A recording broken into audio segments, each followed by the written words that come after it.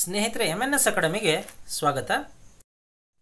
ಸ್ನೇಹಿತರೆ, ಇದೇ ಮೊದಲನೇ ಸಾರಿ ನೀವು ನಮ್ಮ ಚಾನಲ್ಗೆ ಭೇಟಿ ನೀಡಿದರೆ ನಮ್ಮ ಚಾನಲನ್ನು ಸಬ್ಸ್ಕ್ರೈಬ್ ಆಗಿ ಹಾಗೆ ಪಕ್ಕದಲ್ಲಿರ್ತಕ್ಕಂಥ ಬೆಲ್ ಬಟನನ್ನು ಕ್ಲಿಕ್ ಮಾಡಿದ್ರೆ ನಾವು ಮಾಡ್ತಕ್ಕಂಥ ಎಲ್ಲ ಹೊಸ ವಿಡಿಯೋಗಳ ನೋಟಿಫಿಕೇಷನ್ ನಿಮಗೆ ತಲುಪತ್ತೆ. ಹಾಗೆ ನಮ್ಮ ಚಾನಲ್ನ ಪ್ಲೇಲಿಸ್ಟ್ನಲ್ಲಿ ನೀವು ಹಲವಾರು ವಿಡಿಯೋಗಳಿದೆ. ಆ ವಿಡಿಯೋಗಳನ್ನು ನೀವೆಲ್ಲ ನೋಡಿ ಅಂತ ಹೇಳ್ತಾ ಆತ್ಮೀಯರೇ, ದಿನಾಂಕ ಎರಡು ಏಳು ಎರಡು ಸಾವಿರದ ಹತ್ತೊಂಬತ್ತು. ಪ್ರಚಲಿತ ಘಟನೆಗಳು. ಈ ವಿಡಿಯೋದಲ್ಲಿ ನಾವು ಪ್ರಚಲಿತ ಘಟನೆಗಳಿಗೆ ಸಂಬಂಧಿಸಿದ ಬಹುಮುಖ್ಯ ಪ್ರಶ್ನೋತ್ತರಗಳ ಬಗ್ಗೆ ಡಿಸ್ಕಸ್ ಮಾಡೋಣ. ಈ ವಿಡಿಯೋನ ಕೊನೆವರೆಗೂ ನೋಡಿ. ವಿಡಿಯೋನ ಇಷ್ಟ ಆದರೆ ಇದನ್ನು ಲೈಕ್ ಮಾಡಿ, ಹಾಗೆ ಇದರ ಬಗ್ಗೆ ಕಾಮೆಂಟ್ಸ್ ಮಾಡಿ, ನಿಮ್ಮ ಸ್ನೇಹಿತರಿಗೂ ಶೇರ್ ಮಾಡಿ ಅಂತ ಹೇಳುತ್ತಾ. ಮೊದಲನೇ ಪ್ರಶ್ನೆ, ಎರಡು ಸಾವಿರದ ಹತ್ತೊಂಬತ್ತರ ಹತ್ತೊಂಬತ್ತು ವರ್ಷದ ಒಳಗಿನ ಏಷ್ಯನ್ ಜೂನಿಯರ್ ಚಾಂಪಿಯನ್ಶಿಪ್ ಪ್ರಶಸ್ತಿ ಪಡೆದವರು ಯಾರು? ಇದಕ್ಕೆ ಸರಿಯಾದ ಉತ್ತರ, ವೀರ್ ಚೋಟ್ರಾನಿ ವೀರ್ ಚೋಟ್ರಾನಿ ಸ್ಕ್ವಾಷ್ನಲ್ಲಿ ಈ ಪ್ರಶಸ್ತಿಯನ್ನು ಪಡೆದ ಮೂರನೇ ಭಾರತೀಯರಾಗಿದ್ದಾರೆ. ರವಿ ದೀಕ್ಷಿತ್ ಹಾಗೂ ವಿ. ಸೆಂಥಿಲ್ ಕುಮಾರ್ ಅವರು ಕ್ರಮವಾಗಿ ಒಂದು ಮತ್ತು ಎರಡನೇ ಸ್ಥಾನದಲ್ಲಿದ್ದಾರೆ. Under nineteen Asian junior championship ಚೀನಾದಲ್ಲಿ ನಡೆದಿದೆ. ಈ ಟೂರ್ನಮೆಂಟ್ನಲ್ಲಿ ಭಾರತ ಒಂದು ಗೋಲ್ಡ್, ಮೂರು ಬೆಳ್ಳಿ ಮತ್ತು ಅನೇಕ ಕಂಚಿನ ಪದಕಗಳನ್ನು ಗಳಿಸಿದೆ. ಎರಡನೇ ಪ್ರಶ್ನೆ, ರಾಷ್ಟ್ರೀಯ ವೈದ್ಯರ ದಿನ ಯಾವಾಗ ಆಚರಿಸಲಾಗುತ್ತದೆ? ಇದಕ್ಕೆ ಸರಿಯಾದ ಉತ್ತರ ಜುಲೈ ಒಂದು. ಭಾರತದಲ್ಲಿ ಜುಲೈ ಒಂದನ್ನು ರಾಷ್ಟ್ರೀಯ ವೈದ್ಯರ ದಿನವನ್ನಾಗಿ ಆಚರಿಸಲಾಗುತ್ತದೆ. ಭಾರತೀಯ ವೈದ್ಯ ಲೋಕದ ದಂತಕತೆ ಹಾಗೂ ಪಶ್ಚಿಮ ಬಂಗಾಳದ ಎರಡನೇ ಮುಖ್ಯಮಂತ್ರಿ doctor Bidhan Chandra Roy, B C Roy ಅವರ ನೆನಪಿನಲ್ಲಿ ಜುಲೈ ಒಂದನ್ನು ವೈದ್ಯರ ದಿನವನ್ನಾಗಿ ಆಚರಿಸಲಾಗುತ್ತದೆ. ಪಶ್ಚಿಮ ಬಂಗಾಳದ ಮುಖ್ಯಮಂತ್ರಿ ಆಗಿರುತ್ತಾರೆ ಇವರು. ಅನೇಕ ಆಸ್ಪತ್ರೆ ಹಾಗೂ ಶಿಕ್ಷಣ ಸಂಸ್ಥೆಗಳನ್ನು ಕಟ್ಟಿ ಬೆಳೆಸುವುದರೊಂದಿಗೆ ಮುಖ್ಯಮಂತ್ರಿಯಾಗಿದ್ದಾಗಲೂ ಪ್ರತಿದಿನ ಸುಮಾರು ಎರಡು ಗಂಟೆಗಳ ಕಾಲ ರೋಗಿಗಳಿಗೆ ಉಚಿತ ಚಿಕಿತ್ಸೆಯನ್ನು ನೀಡುತ್ತಿದ್ದರು. ಮಹಾತ್ಮ ಗಾಂಧಿಯವರ ಖಾಸಗಿ ವೈದ್ಯರು ಸಹಿತ ಆಗಿದ್ದರು. ಬಿ ಸಿ ರಾಯ್ ಅವರು ಜನಿಸಿದ್ದು ಜುಲೈ ಒಂದು, ಸಾವಿರದ ಎಂಟುನೂರ ಎಂಬತ್ತೆರಡರಲ್ಲಿ. ಅವರು ಮರಣ ಹೊಂದಿದ್ದು ಅದೇ ತಾರೀಕು ಜುಲೈ ಒಂದು ಸಾವಿರದ ಒಂಬೈನೂರ ಅರವತ್ತೆರಡರಲ್ಲಿ ಅವರಿಗೆ ಆಗ ಎಂಬತ್ತು ವರ್ಷ ವಯಸ್ಸಾಗಿತ್ತು. Poor are my patients, God pays for them ಎಂಬ ಉಕ್ತಿಯನ್ನು ತಮ್ಮ ಜೀವನದುದ್ದಕ್ಕೂ ಅಕ್ಷರಶಃ ಪಾಲಿಸಿದ್ದರು. ಮೂರನೇ ಪ್ರಶ್ನೆ, ಜಲ ಸಂರಕ್ಷಣೆ ಹಾಗೂ ನೀರಾವರಿ ದಕ್ಷತೆ ಹೆಚ್ಚಿಸುವ ಉದ್ದೇಶ ಹೊಂದಿರುವ ಕೇಂದ್ರ ಸರ್ಕಾರದ ನೂತನ ಯೋಜನೆ ಯಾವುದು? ಇದಕ್ಕೆ ಸರಿಯಾದ ಉತ್ತರ, ಜಲ್ ಶಕ್ತಿ ಅಭಿಯಾನ. ಜಲ್ ಶಕ್ತಿ ಅಭಿಯಾನವನ್ನು ಕೇಂದ್ರ ಜಲಶಕ್ತಿ ಮಿನಿಸ್ಟರ್ ಆದಂಥ ಗಜೇಂದ್ರ ಸಿಂಗ್ ಶೇಖಾವತ್ ಇವರು ದೆಹಲಿಯಲ್ಲಿ ಇದನ್ನು ಉದ್ಘಾಟಿಸಿದ್ದಾರೆ. ಈ ಅಭಿಯಾನ ಜುಲೈ ಒಂದರಿಂದ ಸೆಪ್ಟೆಂಬರ್ ಹದಿನೈದು ಎರಡು ಸಾವಿರದ ಹತ್ತೊಂಬತ್ತರವರೆಗೆ ನಡೆಯುತ್ತದೆ. ಇದರ ಉದ್ದೇಶ ನೀರಿನ ಸಂರಕ್ಷಣೆ ಮಾಡುವುದು ಹಾಗೂ ನೀರಾವರಿಯನ್ನು ಅದರ ಎಫಿಷಿಯನ್ಸಿಯನ್ನು ಹೆಚ್ಚಿಸುವುದು ಇದರ ಉದ್ದೇಶವಾಗಿದೆ. ಇದನ್ನು ಮಾಸ್ ಮೂಮೆಂಟ್ ಥರ ಒಂದು ಪ್ರಚಾರ ಆಂದೋಲನದ ರೀತಿಯಲ್ಲಿ ಇದರ ಬಗ್ಗೆ ಜನರಲ್ಲಿ ತಿಳುವಳಿಕೆ ಮೂಡಿಸುವುದು. ದೇಶಾದ್ಯಂತ ಇನ್ನೂರ ಐವತ್ತೈದು ವಾಟರ್ ಸ್ಟ್ರೆಸ್ ಡಿಸ್ಟಿಕ್ನಲ್ಲಿ ಎಲ್ಲರನ್ನ ಒಳಗೂಡಿ ನೀರಿನ ಸಂರಕ್ಷಣೆ ಮಾಡ್ತಕ್ಕಂಥ ಉದ್ದೇಶ ಒಂದು ಹೊಂದಿರತಕ್ಕಂಥ ಯೋಜನೆಯೇ ಜಲ್ಶಕ್ತಿ ಅಭಿಯಾನ. ನಾಲ್ಕನೇ ಪ್ರಶ್ನೆ, ವಿಂಬಲ್ಡನ್ ಟ್ರೋಫಿ ಯಾವ ಕ್ರೀಡೆಗೆ ಸಂಬಂಧಿಸಿದೆ? ಇದಕ್ಕೆ ಸರಿಯಾದ ಉತ್ತರ tennis. Wimbledon trophy oldest tennis tournament in the world ಇದು ಇರುವುದು ಲಂಡನ್ ಯು ಕೆನ ಲಂಡನ್ನಲ್ಲಿ. ಇದು ಪ್ರಾರಂಭವಾಗಿದ್ದು ಸಾವಿರದ ಎಂಟುನೂರ ಎಪ್ಪತ್ತೇಳರಲ್ಲಿ. ಐದನೇ ಪ್ರಶ್ನೆ, ಎರಡು ಸಾವಿರದ ಹತ್ತೊಂಬತ್ತರಲ್ಲಿ ಸಾಂಸ್ಥಿಕ, ಸಾಮಾಜಿಕ ಜವಾಬ್ದಾರಿ, ಕಾರ್ಪೊರೇಟ್ ಸೋಷಿಯಲ್ ರೆಸ್ಪಾನ್ಸಿಬಿಲಿಟಿ ಫಂಡನ್ನು, ನಿಧಿಯನ್ನು ಸಾಮಾಜಿಕ ಅಭಿವೃದ್ಧಿಗಾಗಿ ಯಶಸ್ವಿಯಾಗಿ ಬಳಕೆ ಮಾಡಿದ್ದಕ್ಕಾಗಿ ಈ ಕೆಳಗಿನ ಯಾವ ಸಂಸ್ಥೆಯನ್ನು ರಾಷ್ಟ್ರಪತಿಯವರ ಪ್ರಶಸ್ತಿಗಾಗಿ ಆಯ್ಕೆ ಮಾಡಲಾಗಿದೆ? ಇದಕ್ಕೆ ಸರಿಯಾದ ಉತ್ತರ ನಾಲ್ಕೋ. ನಾಲ್ಕೋ ಅಂದರೆ ನ್ಯಾಷನಲ್ ಅಲ್ಯೂಮಿನಿಯಂ ಲಿಮಿಟೆಡ್ ಕಂಪನಿ. ಇದು ಒಂದು ಒಡಿಶಾ ಮೂಲದ ನವರತ್ನ ಕಂಪನಿ.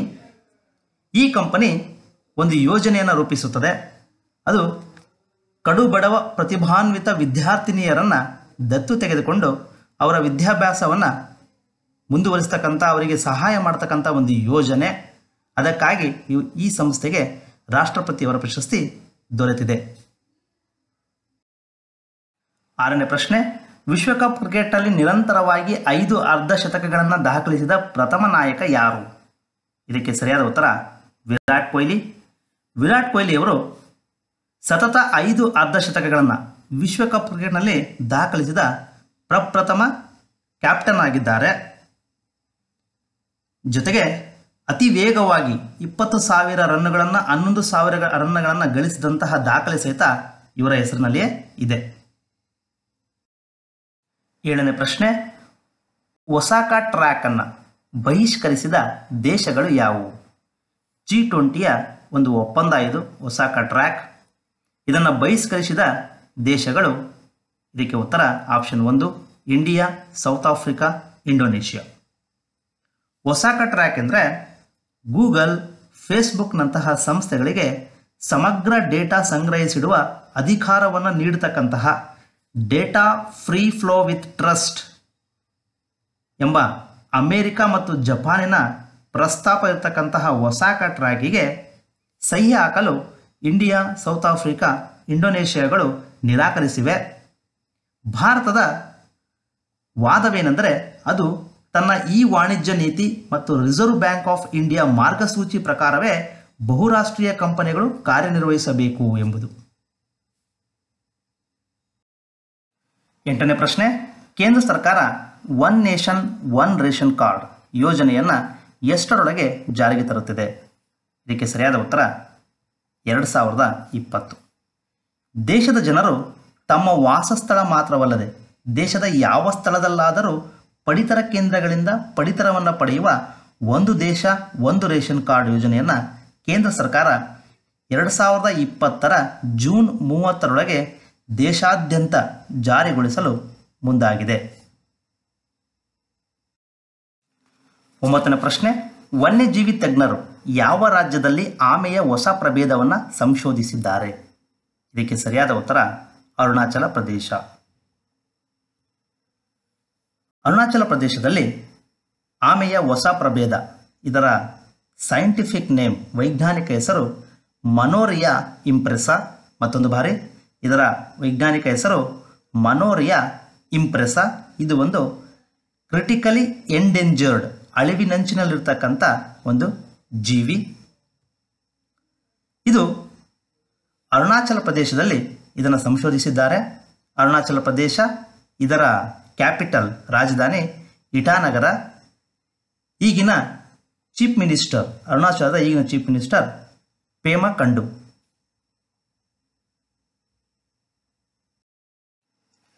ಹತ್ತನೇ ಪ್ರಶ್ನೆ ಭಾರತದ ಅರವತ್ತ್ಮೂರನೇ ಗ್ರ್ಯಾಂಡ್ ಮಾಸ್ಟರ್ ಆಗಿರುವವರು ಯಾರು? ಇದಕ್ಕೆ ಸರಿಯಾದ ಉತ್ತರ ಗಿರೀಶ್ ಎ. ಕೌಶಿಕ್. ಗಿರೀಶ್ ಎ. ಕೌಶಿಕ್ ಇವರು ಮೈಸೂರಿನವರು, ಭಾರತದ ಅರವತ್ತ್ಮೂರನೇ ಗ್ರ್ಯಾಂಡ್ ಮಾಸ್ಟರ್, ಕರ್ನಾಟಕದ ಮೂರನೇ grand master, M. S. Tej Kumar G. S. Tanay ನಂತರ ಮೂರನೆಯ ಗ್ರ್ಯಾಂಡ್ ಮಾಸ್ಟರೇ ಗಿರೀಶ್ ಎ. ಕೌಶಿಕ್. ಇವರು ಹಂಗೇರಿಯಲ್ಲಿ ನಡೆದಂತಹ ಚೆಸ್ ಫೆಸ್ಟಿವಲ್ನಲ್ಲಿ ಇಂಟರ್ನ್ಯಾಷನಲ್ ಚೆಸ್ ಫೆಸ್ಟಿವಲ್ಲಿ, ಫೆಸ್ಟಿವಲ್ನಲ್ಲಿ ಅರವತ್ತ್ಮೂರನೇ ಗ್ರ್ಯಾಂಡ್ ಮಾಸ್ಟರ್ ಆಗಿ ಹೊರಹೊಮ್ಮಿದ್ದಾರೆ. ಹಂಗೇರಿ ಇದು ಯುರೋಪ್ ಖಂಡದಲ್ಲಿದೆ. ಇದರ ಕ್ಯಾಪಿಟಲ್ ಬುಡೋಫೆಸ್ಟ್, ಇದರ ಕರೆನ್ಸಿ ಹಂಗೇರಿಯನ್ ಫೋರಿಂಟ್ ಹನ್ನೊಂದನೇ ಪ್ರಶ್ನೆ, ಗೃಹ ಸಚಿವಾಲಯದ ಸಮೀಕ್ಷೆ ಪ್ರಕಾರ ದೇಶದ ನಂಬರ್ ಒನ್ ರ್ಯಾಂಕಿಂಗ್ನಲ್ಲಿರುವ ಪೊಲೀಸ್ ಠಾಣೆ ಯಾವುದು? ಇದಕ್ಕೆ ಸರಿಯಾದ ಉತ್ತರ ಕಲು ಪೊಲೀಸ್ ಠಾಣೆ. ಕೇಂದ್ರ ಗೃಹ ಸಚಿವಾಲಯ ಮಿನಿಸ್ಟ್ರಿ ಆಫ್ ಹೋಮ್ ಅಫೇರ್ ಒಂದು ಇಂಟರ್ನಲ್ ಸರ್ವೆಯನ್ನು ನಡೆಸುತ್ತದೆ. ಭಾರತದಲ್ಲಿ ಬೆಸ್ಟ್ ಪೊಲೀಸ್ ಸ್ಟೇಷನ್ ಯಾವುದು ಎಂದು ಕಂಡುಹಿಡಿಯಲು ಆ ಸರ್ವೆ ಪ್ರಕಾರ, ಆ ಸರ್ವೆ ದೇಶದಲ್ಲಿ ಮೂರು ಪೊಲೀಸ್ ಠಾಣೆಗಳನ್ನು ಬೆಸ್ಟ್ ಪೊಲೀಸ್ ಠಾಣೆಗಳು ಎಂದು ಗುರುತಿಸಿದೆ. ಅದರಲ್ಲಿ ಮೊದಲನೇದು ರಾಜಸ್ಥಾನದಲ್ಲಿದ್ದರೆ, ಎರಡನೇದು ಅಂಡಮಾನ್ ನಿಕೋಬಾರ್ ಐಲ್ಯಾಂಡ್ನಲ್ಲಿದೆ, ಮೂರನೇದು ವೆಸ್ಟ್ ಬೆಂಗಾಲಲ್ಲಿದೆ. ರಾಜಸ್ಥಾನದ ಬಿಕೆನಾಡ್ ಡಿಸ್ಟಿಕ್ನಲ್ಲಿರ್ತಕ್ಕಂಥ ಕಲು ಪೊಲೀಸ್ ಠಾಣೆ ದೇಶದಲ್ಲಿಯೇ ನಂಬರ್ ಒನ್ ರ್ಯಾಂಕ್ನ ಪೊಲೀಸ್ ಠಾಣೆಯಾಗಿದೆ. ಹನ್ನೆರಡನೇ ಪ್ರಶ್ನೆ, ಎರಡು ಸಾವಿರದ ಹತ್ತೊಂಬತ್ತರ ಪ್ರತಿಷ್ಠಿತ ರೆಡ್ ಹಿಂಕ್ ಅವಾರ್ಡ್ ಪ್ರಶಸ್ತಿ ಈ ಕೆಳಕಂಡವರಲ್ಲಿ ಯಾರು ಪಡೆದಿದ್ದಾರೆ? ಇದಕ್ಕೆ ಸರಿಯಾದ ಉತ್ತರ, ರಚನಾ ಕೈರ. ರಚನಾ ಕೈರ ಇವರು ಟ್ರಿಬ್ಯೂನ್ ಪತ್ರಿಕೆಯವರು. ಇವರಿಗೆ red award for journalist of the year ಎನ್ನುವ ಪ್ರಶಸ್ತಿ ದೊರೆತಿದೆ. ಈ ಪ್ರಶಸ್ತಿ ಇವರಿಗೆ ದೊರೆಯಲು ಕಾರಣ ಇವರ ಒಂದು ಇನ್ವೆಸ್ಟಿಗೇಟಿಂಗ್ ವರದಿ, ಅದು ಆಧಾರ್ಗೆ ಸಂಬಂಧಪಟ್ಟಿದ್ದು. ಆಧಾರ್ನಲ್ಲಿ ಎಲ್ಲ ಜನರ ಬಯೋಮೆಟ್ರಿಕ್ ಇನ್ಫಾರ್ಮೇಷನ್ ಇದೆ. ಆ ಇನ್ಫಾರ್ಮೇಷನ್ನ ಯಾವ ರೀತಿ ಅದನ್ನು ಹ್ಯಾಕ್ ಮಾಡುತ್ತಾರೆ, ಅದನ್ನು ಟ್ರೇಡ್ ಮಾಡ್ತಾರೆ, ದುಡ್ಡಿಗಾಗಿ ಅನ್ನೋದರ ಬಗ್ಗೆ ವರದಿ ಇತ್ತು. ಆ ವರದಿಗಾಗಿ ಇವರಿಗೆ ಈ ಪ್ರಶಸ್ತಿ ದೊರೆತಿದೆ. ಆತ್ಮೀಯರೇ, ಇದುವರೆಗೂ ನಮ್ಮ ವಿಡಿಯೋನ ನೋಡೋದಕ್ಕಾಗಿ ಧನ್ಯವಾದಗಳು. ಈ ವಿಡಿಯೋ ನಿಮಗೆ ಇಷ್ಟ ಆದರೆ ಇದನ್ನು ಲೈಕ್ ಮಾಡಿ, ಹಾಗೆ ಇದರ ಬಗ್ಗೆ ಕಮೆಂಟ್ಸ್ ಮಾಡಿ, ನಿಮ್ಮ ಸ್ನೇಹಿತರಿಗೂ ಶೇರ್ ಮಾಡಿ ಅಂತ ಹೇಳ್ತಾ ಮುಂದಿನ ವಿಡಿಯೋ ಜೊತೆಗೆ ಮತ್ತೆ ಭೇಟಿಯಾಗೋಣ. ಅಲ್ಲಿವರೆಗೂ ಮತ್ತೊಮ್ಮೆ ಧನ್ಯವಾದಗಳು.